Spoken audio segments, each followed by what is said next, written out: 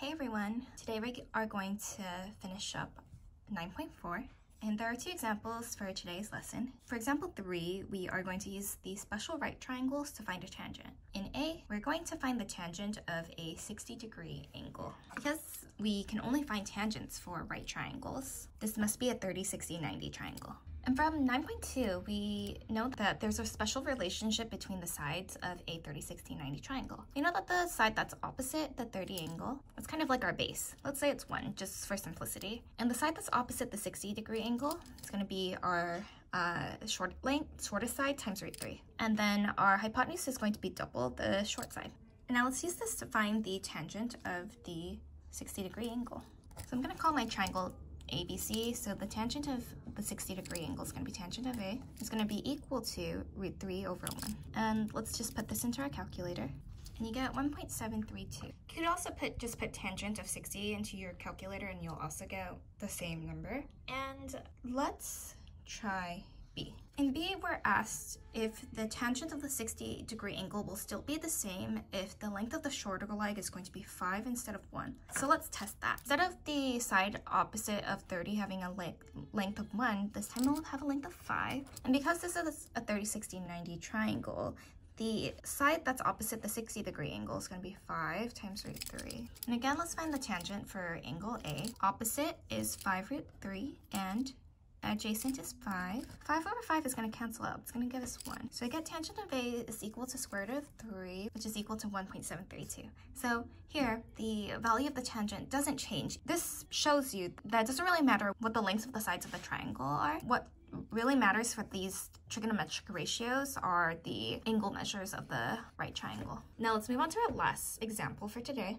So the angle that an upward line of sight makes with a horizontal line is called an angle of elevation. Let me just give you a quick diagram of what we mean by that. So this is like our angle of elevation. This is the angle that an upward line of sight is going to make with a horizontal line. So this angle right here, that would be our angle of elevation. And we are going to combine the angle of elevation with tangent to solve some word problems. In example 4, you are measuring the height of a spruce tree. You stand 45 feet from the base of the tree.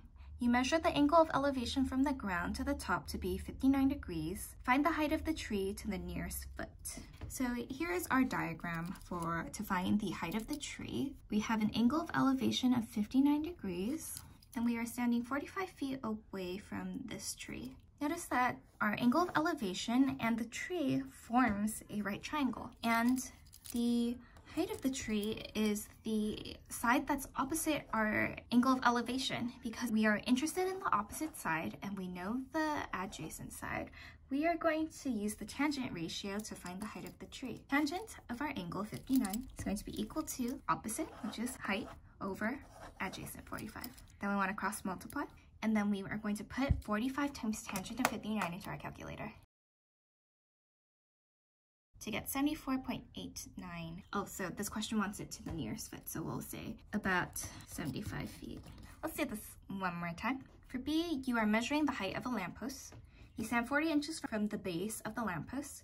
You measure the angle of elevation from the group, from the ground to the top of the lamppost to be 70, 70 degrees. Find the height h of the lamppost to the nearest inch. So this time we are going to need to draw a diagram.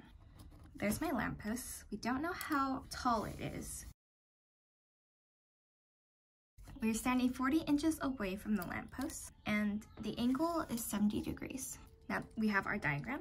Let's set up our tangent ratio to solve for h. I get tangent of 70 is equal to h over 40 and let's cross multiply. I get 40 times tangent of 70 is equal to h and let's put that into our calculator and you get 109.89. We need to round to the nearest inch, so this is going to round to 110. And that's it for our lesson for today. Let me know if you have any questions. I hope you have a wonderful day and take care.